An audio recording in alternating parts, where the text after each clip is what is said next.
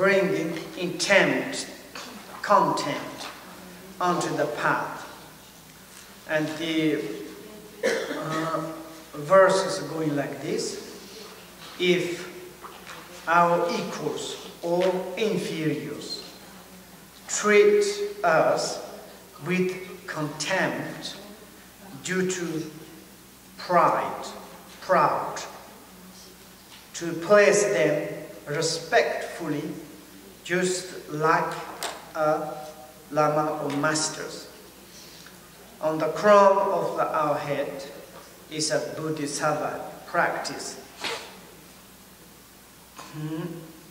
And uh, sometimes this kind of is happened. And uh, same our level, or some is like uh, uh, inferiors to the ourself. Maybe it's like a, uh, contempt. Maybe others has such a kind of disturbing emotion of uh, arrogant, proud, and uh, something and uh, something. And uh, if like kind of throws to us, these doers do like this, how we can to repayment. Maybe it is like a hmm, we considering, and this person is as our own, like a teacher or like kind of our own individual spiritual friend and we need to pay great uh, respectful to this because it's like a kind of uh, the contentment, like insult to us. It is a little bit benefit for us because generally we think we are superiors we think I am is like a kind of God, Buddha.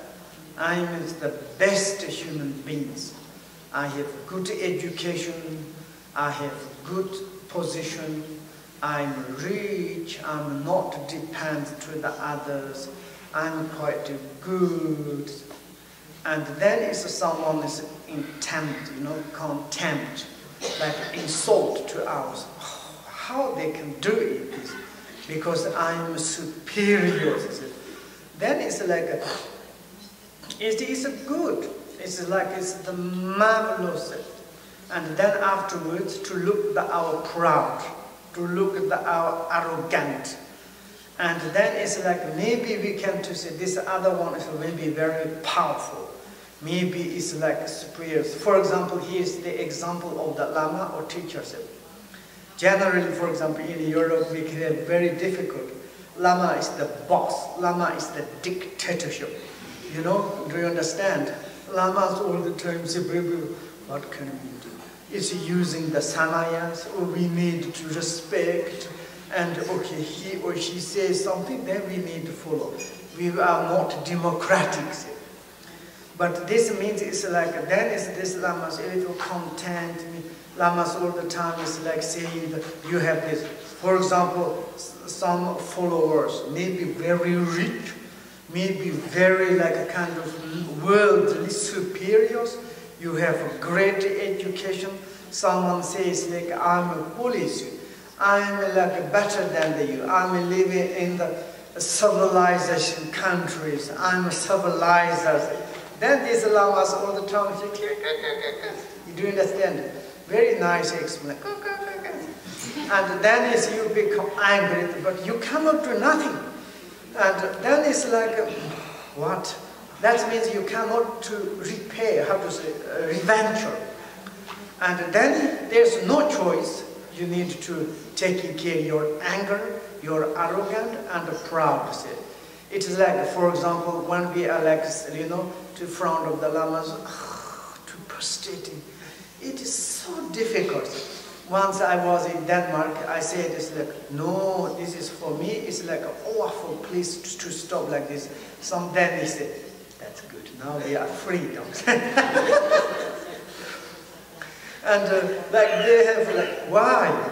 Because it's like, reality is like, why I need to prostrate? Because this teacher and myself is equal. not different.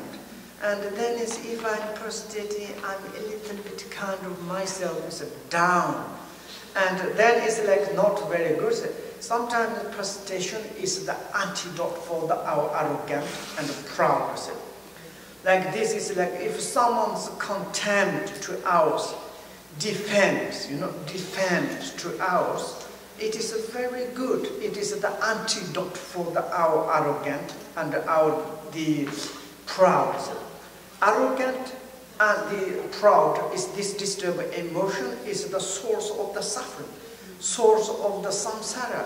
From this disturbing emotion of the arrogant and the proud, and a lot of make mistake, lot of kind of uh, how do you say it, wrong doing things.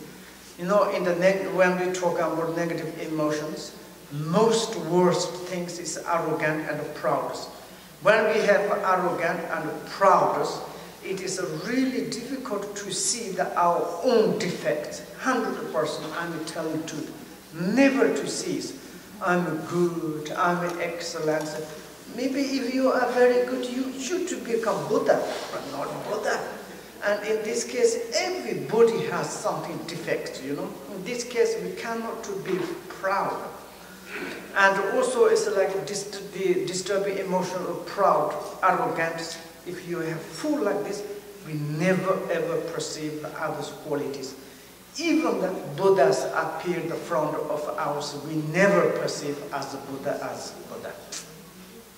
You know, in the historical Buddha, he is one tendency. He was very intelligent. He's really, he can to memorize the three Tipitakas, all the teachings of the Buddhas. He can, he says, I'm same as the Buddha. What is the difference? He was with the Buddha 25 years, but finally his arrogant proudness, he couldn't manage it, his disturbing emotions. He couldn't purify his disturbing emotions, and he cannot to the purify his negative emotions, negative deeds. He reborn in the hungry ghost realms or hungry ghost into the list in the one flower gardens. And even the, the, to meet face to face and what Buddha can do, you meet face to face the Buddha. Buddha cannot do nothing. And according to this arrogance, arrogant, proud, the times making the candle, you know, positive things to come into in our minds and therefore, and in the Buddhist perspective, we have one self-confidence is that we have Buddha nature. That is the most important. If we do the positive things, this can make the self-confidence. When we obtain the human existence, then to make the self-confidence. I can do something good things. I will become the Buddha. It's obvious. But outwardly or inner is like sometimes to others to take more like a in like a profiled. It is more in the society is very nice and to look at the, my own defects. If I have negative emotion, the arrogant, proud, and that is the my secret defects. It looks like someone's like kind of intent, defend me. It, this is like, no, it's the, but maybe it's the according to my fault.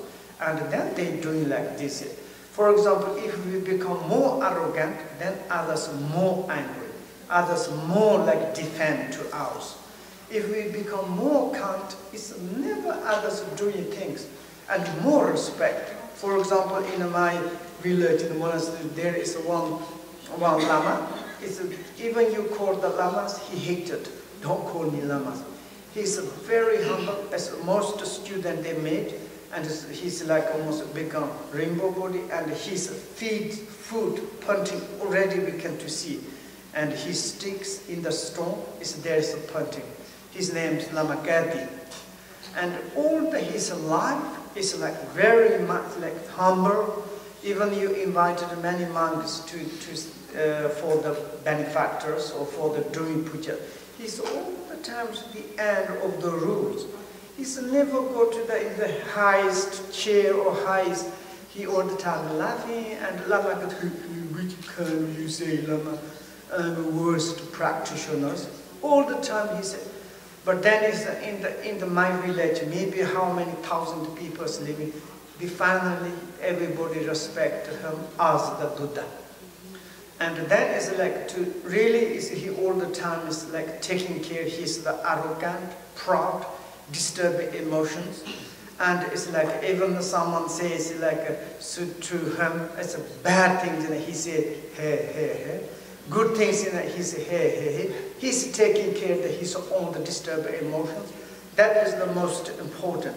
Therefore, he said someone's doing to our bad things, imbearable things. It's not by the cause, okay? But that is like the, we need to bring into the path as this person is like kind of our own spiritual guidance. I'm going to next the verse, verse uh, uh, 18.